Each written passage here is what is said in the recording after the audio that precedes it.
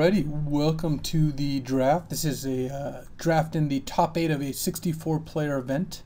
I 3 0 with a blue red aggro, and I'm probably going to start out with a flatten here. It's just a solid first pick. It's uh, the best black common, better than Cunning Breeze Dancer, Atarka Efreet Dragon Fodder. Not that this is an exciting first pick, but I think it is the pick I want to make, and I'm probably going to follow it up with a second one. Crater Elemental I think is a little bit better than Flatten, but I'd rather start with two Flattens than one Crater Elemental, one Flatten. I think the cards are close enough together that I'd rather just take the black card. Opponent passed a bunch of red cards, took an uncommon, and because Crater Elemental followed by Stormcrag Elemental followed by Tarka Freed are both all good. Pacifism is quite good as well. I think Flatten and Pacifism are comparable, and again, Flatten I think wins over there. Sidisi's Faithful and Dutiful Attendant, I might wheel one of those also an epic confrontation. So this pack kind of has it all. So all sorts of colors here. All right, well, given that all these cards are again fairly equal, we've got Dromoka Captain and Misthoof Kirin, Sabretooth Outrider, Gurmag Drowner, and Atarka Beastbreaker, and press the advantage. I think I'll just take the Drowner.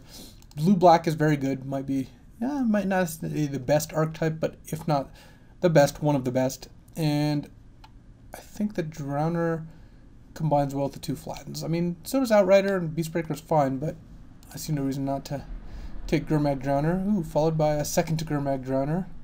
Silk Wrap, not bad at all, but starting with two flattens and two drowners, he has a pretty good start here. So, I like where this is going.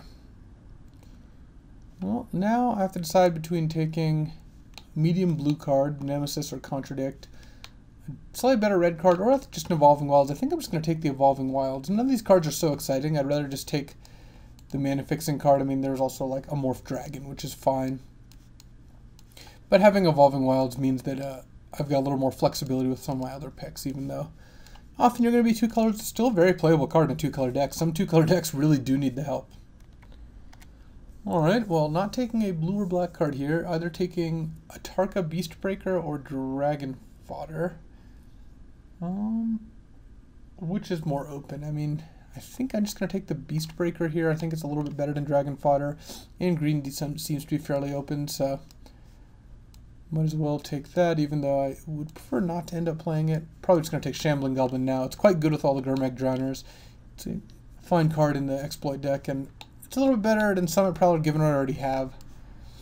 I don't think Summit Prowler is a huge prize to miss out on. Alright, so now do I take the Colossodon Yearling, or do I just take the Evolving Wilds? Again, this card is so medium that I'd rather just take Evolving Wilds. Now I have a lot of freedom as to where I can go. Dirgur Nemesis, still a card I'm not really putting high priority on. Alright, well, none of these cards are too exciting. I guess I could take Dromoka Monument. You never know, right? It's kind of a playable. Alright, well, Ancient Carp is bad enough that I think I'll pass on that, and I'll just take the Lurking Arynx there's a chance that I end up green here, given uh, that I haven't seen any blue cards besides the two drowners. So we'll, we'll see where, where things go. I guess I'll take Custodian the Trove now, since the odds that I end up white are much, much lower. I'll take Tygam Strike even though I don't want to play it. The other cards are not playable. Kind of weird pack one. Green seemed to be open. I don't know if black was necessarily open. I mean, the second pack there had a lot of good cards. The fact that Dirgur Nemesis is passed that late is a good sign. Not that this card's amazing, but these packs felt pretty thin on playables, and getting a, a blue playable with two cards left or three cards left is, is something. So I'd still rather be black-blue here. Just, I mean, my blue and black cards are better than my green cards, but if that's not what ends up getting passed, then that's not what ends up getting passed. All right, well, Dragonlord Dromoka is just absurd. It, I mean, she just ends the game. She's almost very hard to kill or race. And I've got two Evolving Wilds, so this seems like the perfect time. This is why you take the Evolving Wilds. So now I take Dromoka, and I end up trying to maybe play like black, green, white or something along those lines. I don't know where I'm going to end up, but I'm going to take this over Vulturous Aven or Ojutai Summons. I think the power level is just too absurd to not, not do that. So now I have to decide where I want to go. I could do is, let's see, what if I end up trying to draft black, green, white, or potentially, well, Strongarm Monk is quite good. Could also just take Scale Guard Sentinels. I mean, I do have a dragon. Because because I don't want to take a white card here. I could also just take Stampeding Elkherd while we're there. I mean, there's also Profaner of the Dead, which is a fine card. It could come with Custodian of the Trove. So maybe, though that just makes it that much harder to play the Dragon Lord here. Hmm. Do I take the best card? I think Profaner is the best card in this pack. Or do I just take Sentinels or Elkherd or Strong Arm Monk? I think if I take a green or white card, I'd rather just take a green card because I already have the two. Uh, yeah, I think I'm just going to take a green card here, and I think it's going to be Scale Guard Sentinels. I think if you end up heavy green, that card is pretty good. Alright, well there's another Gurmag Drowner, but I think I'm just going to take the Vulturous Aven over Stampeding Elkherd and or Shieldhide Dragon. Black is, I think, a color I do want to end up in. Oh, I also have Dromoka Monument. That's actually not irrelevant at all. Jeez, another Drowner and a Stratus Dancer. Could draw something sweet, but I probably shouldn't. I probably should, uh, should not go too far off the rails, though Splashing Stratus Dancer is not outrageous. I have two Evolving Wilds, and maybe I'll play these Drowners. Alternately, I could just take something boring like Segmented Krotiq. Or I could just take Enduring Victory, but that's not a great splash card. It's not like the card's insane to begin with. Or I could just take another Dromoka Monument, which will help splash Dromoka pretty, pretty well. Hmm. Uh, this is actually pretty tough. I don't, I don't know which direction I want to go. I want to draw something sweet. I'm just going to take the Stratus Dancer. Now, let's see, what do I want to follow it up with? Probably still just a Glade Watcher, honestly. I don't really want to take random white cards, and Lore Master doesn't seem insane here, whereas Glade Watcher is a very solid card. Alright. And probably just Sign of Ugin here. It makes uh, the Scale Guard Sentinels better, and I don't mind having an, another 6-drop. I'm, I'm, a little light on those anyway. Not that you need a ton, but I mean, I'm passing upon Misthoof Kirin that's, and like Tread Upon. These aren't really cards I'm going to put a high priority on. Jeez. Silumgar Sorcerer, that card's so good. I'm going to take Butcher's Glee, though. This card's also fine. Alright, sort by converted mana cost. Let's just assume I'm maybe splashing Stratus Dancer. Potentially a Drowner, too. I mean, Drowner's not a terrible card to splash. Off of some Evolving Wilds. I have a Dromoka Monument. And, yeah, this looks okay. Well, I don't really want Sandsteppe Scavenger all that much, or Pinion Feast. I'm just going to take Shambling Goblin, even though don't think the card's amazing by any stretch. Jeez, that's a late advertised summons. Is it too late to do something else? Yeah, it probably is. I think I should just take Wandering Tomb Shell here. Don't really want the uh, Icebreakers either. Can I take Conifer Strider? Do I have any combos with that? I have Butcher's Glee as kind of the only combo. Well, I still think that's better than Wandering Tomb Shell, so I'll take that. Millions of Wandering Tomb Shells. I could take another Custodian of the Trove. The Trove is pretty well guarded already. Do I want I, I don't really want Tread Upon in this deck. I'll just take Custodian. Alright. Take a Gate Smasher from someone. Gate Smasher plus Conifer Strider. Right, right? Alright. Let's take Student of Ojutai for the sideboard. Alright, and Spider Silk Net. So I'm probably not playing blue cards, but I don't, didn't give up a ton by taking Stratus Dancer here. I have a serviceable black, green, white deck. Green was open pack 1, so I think pack 3 should be at least okay for green, even though it's pretty weak in Fate Reforged. Black, yeah, I see medium open. I'm really just hoping that I draw my Mythic Rare a lot. Ooh, Atarka? Dragon combo? Oh, or I just take Whisper of the Wilds, because I think that's the actual card I want.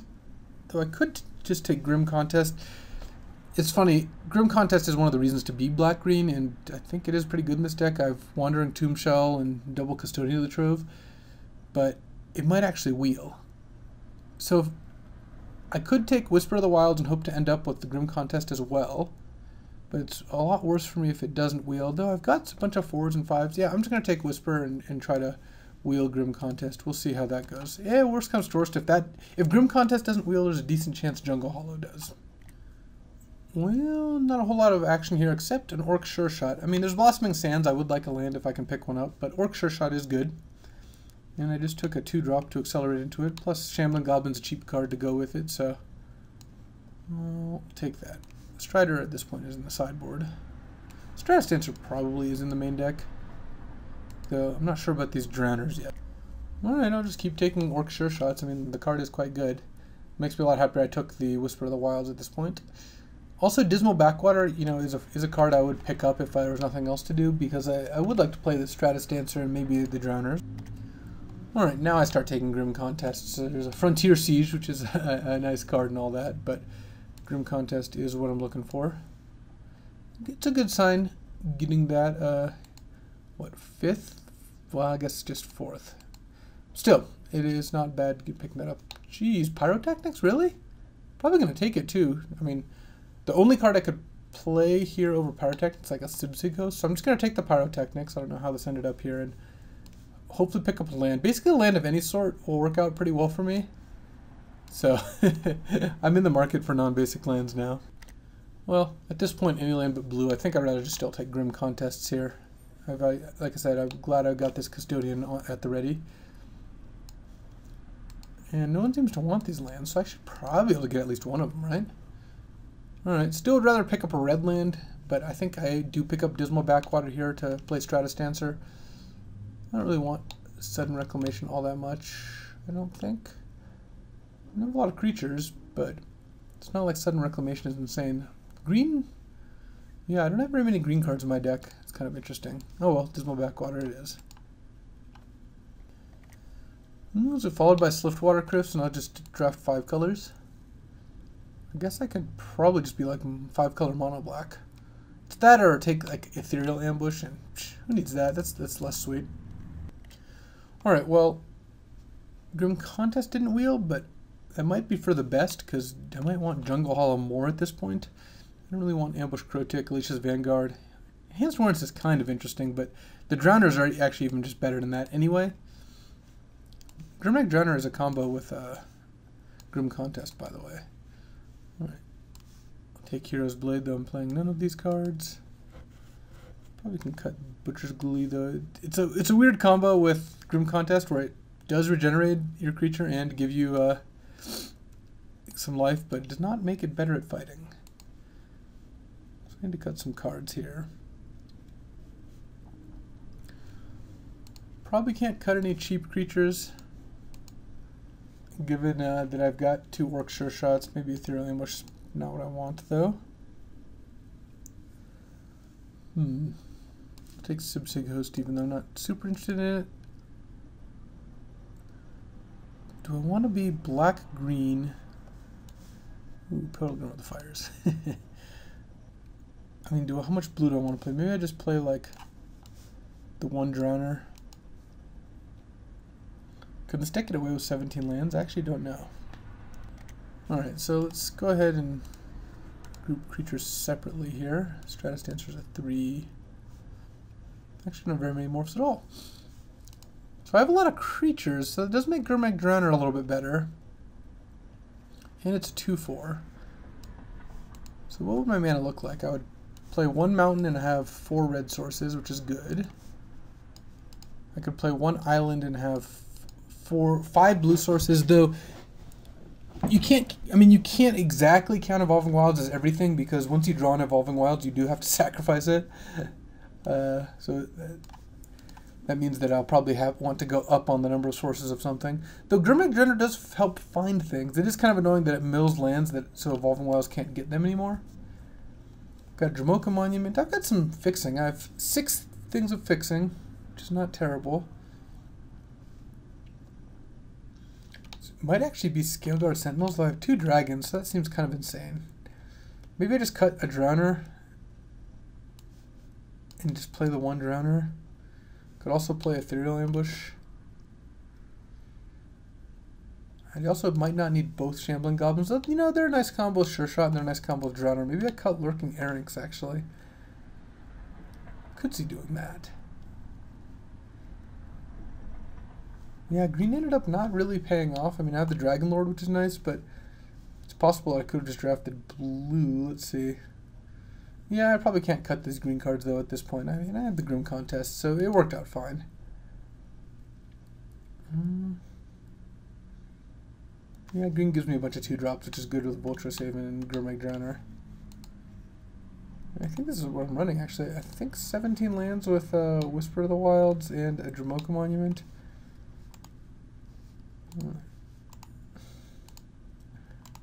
Let's see. One white card, one red card, two blue cards. So, if I had these lands, how many swamps do I need? I have.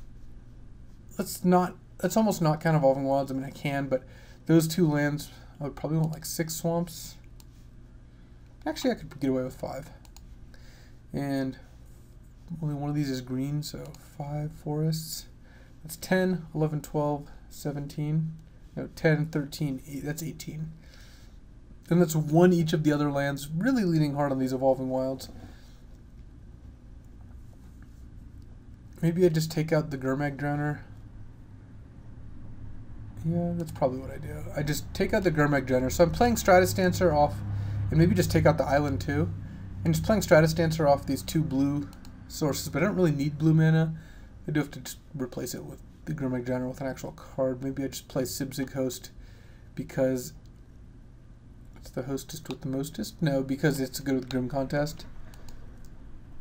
No other no other combos really. Or I could just play Butcher's Glee. Butcher's Glee is just a fine card. And I have a lot of creatures in my deck, so yeah, that's probably okay. And that's 17 lands. And now I've got three red sources, four red sources, and three, four white sources. Which is probably good. Alright, let's try this. This deck is strange.